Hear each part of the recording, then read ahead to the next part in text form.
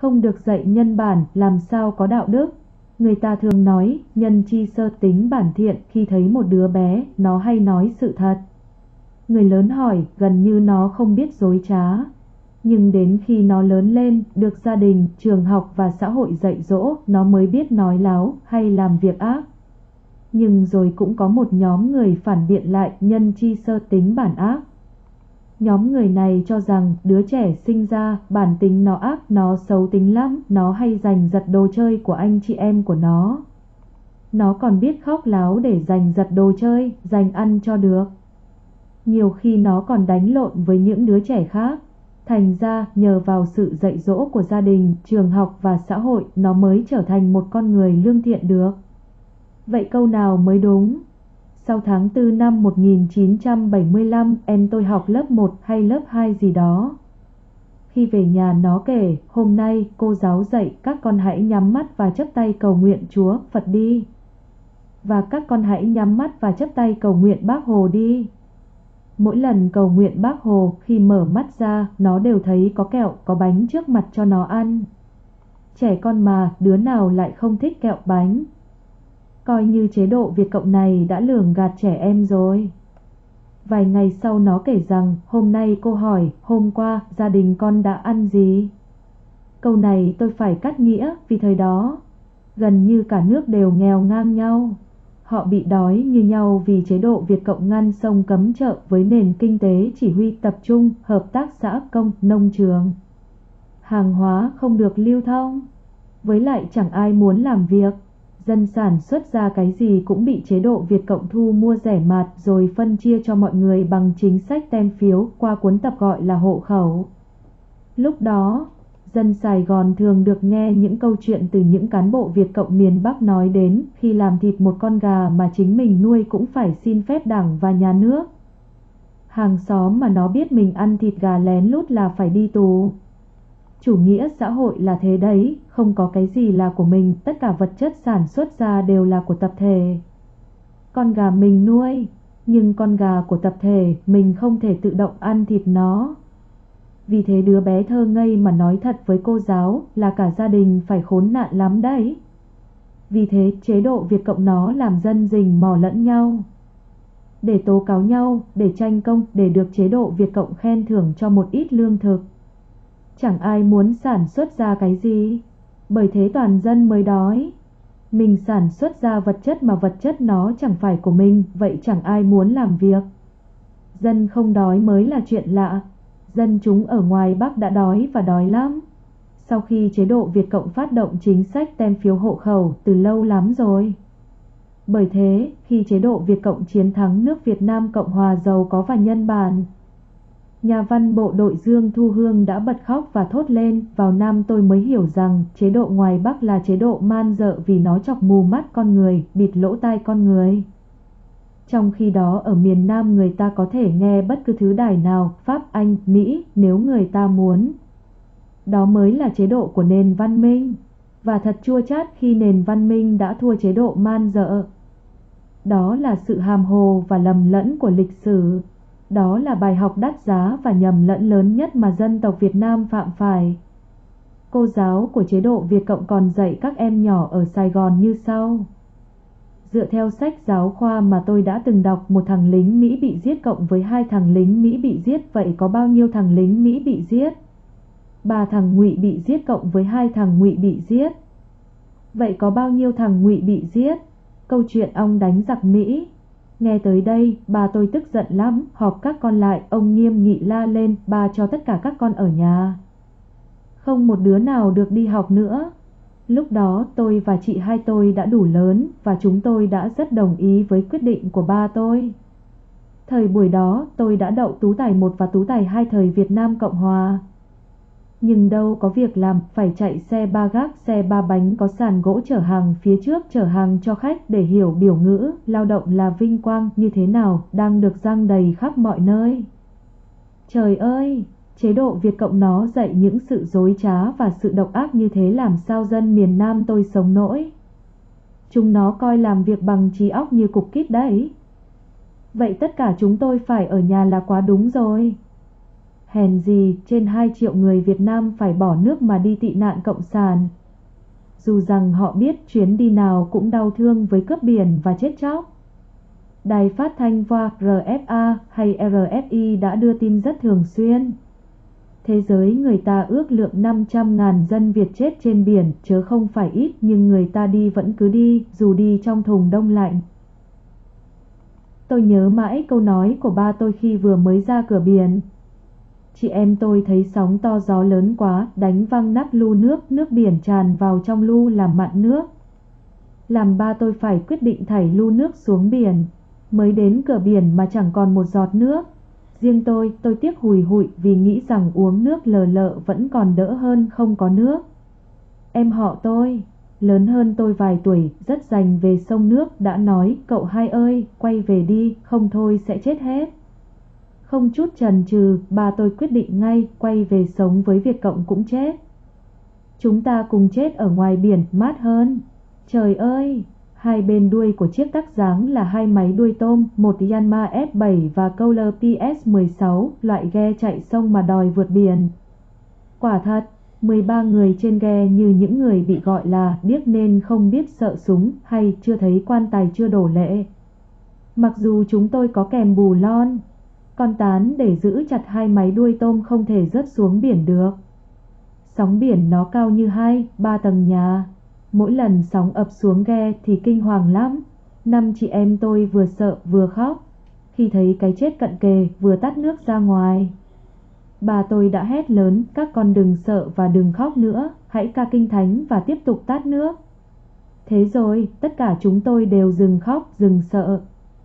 Và đồng thanh, lạy Chúa huyền năng, Hallelujah, lạy Chúa huyền năng, Hallelujah kính ngời Giêsu, Hallelu, Hallelu, Hallelu, lú giá kính ngời Giêsu. Thật kỳ lạ, trong lúc chế độ Việt Cộng đang bài bác tôn giáo, họ gọi tôn giáo là thuốc phiện, cả gia đình tôi lại tìm đến nhà thờ tin lành Trần Cao Vân và đã xin được làm phép báp tên. Duy chỉ có tôi, là có đi nhà thờ nhưng không chịu làm phép báp tên. Tôi còn nhớ tên ông mục sư là Hồ Hiếu Hạ. Trước tháng 4 năm 1975, chúng tôi đã được giáo dục về nhân bản và khai phóng của chế độ Việt Nam Cộng Hòa. Tôi chỉ biết tóm tắt như sau, nhân bản là tôn trọng quyền con người, làm việc thiện, giúp đỡ mọi người, không làm điều ác, không nói dối, không lường gạt, không tham lam quyền lực. Còn khai phóng mang ý nghĩa sinh hoạt tự do, tinh thần tự do, tinh thần tự chủ, tinh thần độc lập trong suy nghĩ, chấp nhận gia nguyên, chấp nhận sự sáng tạo. Trong những hình ảnh tôi đã kèm theo bài viết, quý vị hãy để ý đến hình, cách đối xử với tù phiến cộng.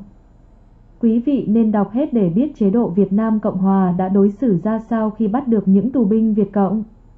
Quý vị hãy để ý đến câu thứ bảy, che chở họ trong suốt thời gian giam giữ. Không được trả thù dưới bất cứ hình thức nào. Tôi biết cán bộ Việt Cộng nào đọc tới đây chắc sẽ dẫy nảy lên. Bộ mắt mày đuôi hay sao mà không nhìn thấy ảnh thằng tướng Loan đã bắn vào đầu anh bảy lốp. Tôi muốn tóm tắt sự việc đã xảy ra ngay giữa Sài Gòn vào Tết Mậu Thân như sau. Ký giả Eddie Adam sau đó nhớ lại tôi nghĩ ông ta sẽ đe dọa người này, vì vậy tôi đưa máy ảnh lên và chụp hình. Anh Nguyễn Văn Lém tức anh Bảy Lốp được cho là đã giết vợ và sáu đứa con của một đồng đội của tướng Loan. Vị tướng nổ súng rồi nói nếu quý vị do dự quý vị không thực hiện nhiệm vụ của mình binh lính sẽ không theo quý vị tướng Loan nói về hành động đột ngột của mình. Nếu quý vị tự đặt mình đang ở vào vị trí của tướng Loan, quý vị sẽ làm gì? Người dân của nước Việt Nam Cộng Hòa đang sống thanh bình, hạnh phúc, giàu có và yên vui. Chắc chẳng ai quên bài ca Giặc từ miền Bắc vô đây, bàn tay chiến tích hận thù. Giặc từ miền Bắc vô đây, bàn tay giết chóc hôi tanh, giặc cờ đỏ, xâm lăng, Giặc cờ đỏ, bạo tàn chắc quý vị cũng hành xử như tướng Loan mà thôi để bảo vệ đất nước Việt Nam Cộng Hòa của quý vị. Đuổi bọn giặc cộng ra khỏi bờ cõi. Cho nên, với góc nhìn của tôi, tướng Loan hành xử rất nhân bản. Giết một người để có thể cảnh cáo hàng ngàn người để bảo vệ đồng bào. Để bảo vệ anh em đồng đội của mình, nhất là bảo vệ được đất nước Việt Nam Cộng Hòa của mình. Về tướng Loan và bức ảnh nổi tiếng của mình anh phóng viên S.D. Adam đã phát biểu trên tạp chí Tam năm 1998 như sau, viên tướng giết người của Việt Cộng bằng súng, còn tôi giết ông ta bằng máy ảnh. Đến nay, những bức ảnh vẫn là vũ khí quyền lực nhất trên thế giới. Mọi người tin chúng nhưng những bức ảnh cũng có thể nói sai mặc dù không hề phóng đại. Chúng chỉ là một nửa sự thật, nhưng một nửa sự thật. Đấy là sự dối trá đó quý vị. Từ đó ông tướng Loan và anh Eddie đã trở thành một đôi bạn thân. Từ dạng sáng ngày mùng 2 Tết tiếng súng đã nổ rền vang khắp toàn lãnh thổ của Việt Nam Cộng Hòa. Lúc đó, người ta mới biết đài phát thanh Hà Nội và đài phát thanh giải phóng dối gạt cả thế giới. Khi họ tự động xin ngưng bắn trong 7 ngày Tết thiêng liêng, bắt đầu từ những ngày giao thừa cho tới ngày mùng 5 Tết Mậu Thân. Tôi là một hướng đạo sinh của thiếu đoàn Tây Đô, đội Hắc Mã. Sài Gòn mỗi ngày đều ăn hàng chục hỏa tiễn 122 ly do Việt Cộng bắn đại vào nhà dân vào lúc gần 5 đến 6 giờ sáng và còi hụ rú lanh inh ỏi để giúp dân trốn mau xuống hầm trú ẩn. Đa số, nhà nào cũng mua những bao cát để xây dựng những hầm trú ẩn. Sáng hôm sau, bọn tôi được điều động đến giúp những gia đình không may mắn bị trúng hỏa tiễn pháo kích. Có một lần tôi chứng kiến một hỏa tiễn 122 ly đang chui hơn nửa mình xuống lòng đất chỉ còn phần đuôi lú lên trên mặt đất nhưng may thật nó không nổ. Việt Cộng toàn chơi màn khủng bố dân. Chúng cũng đặt chất nổ tại nhà hàng Mỹ Cảnh và khách sạn Majestic làm hàng chục dân vô tội bị thiệt mạng. Kinh hoàng nhất vẫn là hỏa tiễn 122 ly đã rót đúng vào trường tiểu học cai Lệ. tại Định Tường với 32 em tử vong và 55 em bị thương. Tôi rất ghét những vụ khủng bố man dợ này. Người Việt giết người Việt chẳng cần một lý do.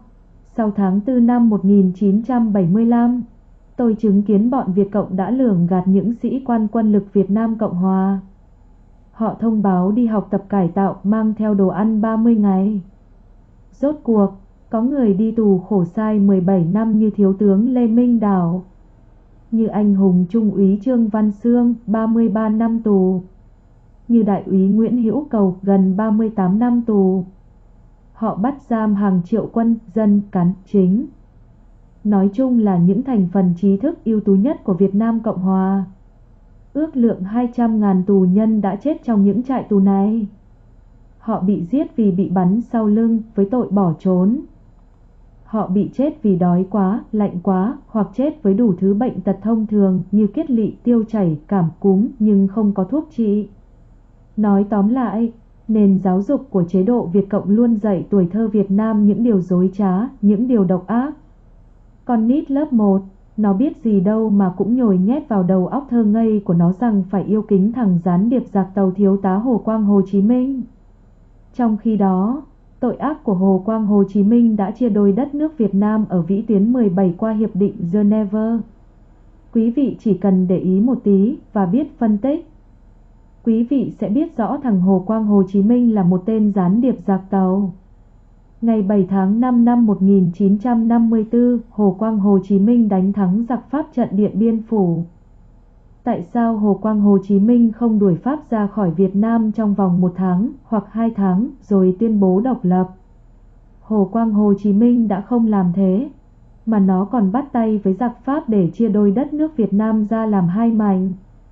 Vì nó là thằng gián điệp giặc tàu chứ không phải người Việt Nam. Tôi khẳng định, không một người Việt Nam nào muốn chia đôi đất nước Việt Nam của mình. Chia đôi đất nước Việt Nam xong, nó lưu manh lên tiếng, dù có đốt cháy cả giải Trường Sơn, nó vẫn kiên quyết thống nhất. Giành độc lập cho Việt Nam, nó muốn chia đôi thành hai quốc gia, rồi xạo sự đòi thống nhất độc lập. Ngày 4 tháng 12 năm 1953, Quốc hội Việt Nam Dân Chủ Cộng Hòa nhóm họp và thông qua dự luật cải cách ruộng đất 197 SL. Chủ tịch Hồ Chí Minh phê thuần và chính thức ban hành bộ luật này vào ngày 19 tháng 12 năm 1953 để kỷ niệm ngày toàn quốc kháng chiến mang tên luật cải cách ruộng đất với chủ trương trí phú địa. Hào, đào tận gốc chốc tận rễ. Quý vị thử nghĩ xem, quý vị là người Việt Nam, quý vị có muốn thực hiện chủ trương đó hay không? Tôi có thể khẳng định, Chẳng một người Việt Nam nào muốn thực hiện một chủ trương điên rồ đó. Chẳng một người Việt Nam nào muốn tiêu diệt những thành phần trí thức và những thành phần giàu có. Họ là những nhân tài của đất nước. Tại sao phải tiêu diệt họ, phải nhổ họ tận gốc rễ? Từ đó, chúng ta có thể suy diễn ra thằng cầm đầu phát động cuộc cải cách ruộng đất Hồ Quang Hồ Chí Minh, nó là thằng gián điệp giặc tàu. Nó muốn tiêu diệt hết thành phần nhân tài của nước Việt. Xem những hình ảnh tôi đính kèm theo bài viết quý vị sẽ tìm ra chứng tích mọi dở của chế độ Việt Cộng này. Ngày kỷ niệm quân đội nhân dân của chúng, chúng ịn hình ảnh của những thằng lính giặc tàu XINSUANET. Lính Việt Cộng với lính của giặc tàu quân phục nó giống y chang nhau thôi. Chẳng ai có thể phân biệt được. Rồi hình cơ sáu ngôi sao do những em bé Việt Nam cầm vẫy khi chào đón Tập Cận Bình đến Việt Nam. Rồi khi Nguyễn Phú Trọng sang Trung Cộng, người ta cũng thấy hình 6 ngôi sao trên truyền hình VTV1 với cô sướng ngôn viên và lá cờ 6 ngôi sao. Bởi thế, người ta tiên đoán thằng giặc cộng miền Bắc. Nó đang chuẩn bị làm nước chư hầu cho Trung Cộng rồi đấy, mãn, mông, hồi, tạm thêm Việt Nam nữa thành 6 ngôi sao. Ngôi sao lớn nhất tượng trưng cho dân tộc Đại Hán. Để kết luận tôi muốn phản đối nền giáo dục mọi dợ của chế độ Việt Cộng. Sách vở họ dạy cho tuổi trẻ Việt Nam toàn là những điều dối trá và độc ác. Thế hệ này nối tiếp thế hệ trước, đã tạo ra những tên quan tham từ những cấp dưới lên đến những cấp cao nhất. Chức vụ càng cao càng độc ác càng tham nhũng. Quý vị cứ nhìn thằng khỉ lú quyền hành cao nhất nước quý vị sẽ biết ngay. Nó sẵn sàng đạp điều lệ đảng để làm nhiệm kỳ 3 trở thành một tên tham nhũng quyền lực nhất thế giới. Qua vụ Việt Á với Teskit giỏm, hàng trăm quan chức cao cấp của Việt Cộng đã bị tống vào tù mà chẳng có mặt thằng lú ký giấy khen thưởng hạng 3 cho công ty Việt Á. Tội ác này rất lớn vì nó đã giết chết thảm thương 43.000 dân. Bị thọt mũi, bị tập trung, bị cách ly coi như hàng ngàn cán bộ đã thi đua kiếm tiền, chia chắt 4.000 tỷ đồng lợi nhuận và 800 tỷ tiền bôi trơn để mua test kit từ Trung Cộng giá 1 đô la Mỹ. Bán lên giá 25 đô la Mỹ. Từ đó, chế độ Việt Cộng mới nghĩ ra tìm cách dạy đạo đức cho cán bộ Việt Cộng. Tất cả những tội ác hiện nay đang xảy ra tại Việt Nam chỉ vì sản phẩm của một nền giáo dục hận thù dối trá, không còn để lại một chút nhân bản nào, ít thấy chất người, chỉ thấy ngợm. Những con người Việt Nam cầm visa Việt Cộng đi đến đâu cũng bị cả thế giới khinh rè. Coi như gặp phải những thằng người mọi dợ,